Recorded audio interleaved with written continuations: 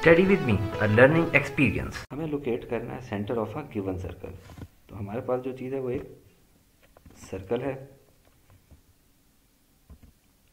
Draw करेंगे two chords A B और C D कहीं पे भी आप ड्रॉ कर सकते हैं सर्कल के ऊपर और किसी भी साइज़ की। फिर E F G perpendicular bisector draw करना है ए बी का। उसका तरीका ये है कि किसी भी एक पॉइंट से कंपस को रख के आर्क ड्रॉ करेंगे। इसी तरह फिर दूसरे पॉइंट पे कंपस को रख के आर्क ड्रॉ करेंगे और फिर जहाँ जहाँ ये दोनों आर्क्स आपस में मिल रही हैं, उनको ज्वाइन कर देंगे। तो ये perpendicular bisector E F G बन गया। इसी तरह सी डी कॉर्ड को भी बाइसेक्ट करेंगे। एक पॉइंट के ऊपर कंपस रख के आर्क ड्रॉ करेंगे। दूसरे पॉइंट के ऊपर कंपस को रख के आर्क ड्रॉ करेंगे।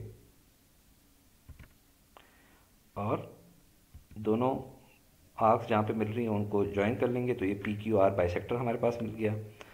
अब ये जो दो बाइसेक्टर बन गए हैं पी क्यू आर और ई एफ़ जी ये कहाँ पे मिल रहे हैं? ये जिस पॉइंट पे मिल रहे हैं, वो पॉइंट वो है। और यही पॉइंट सेंटर है सर्कल का।